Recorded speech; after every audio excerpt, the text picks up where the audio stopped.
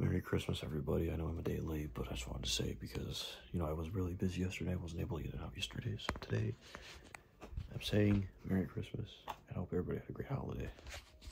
Peace.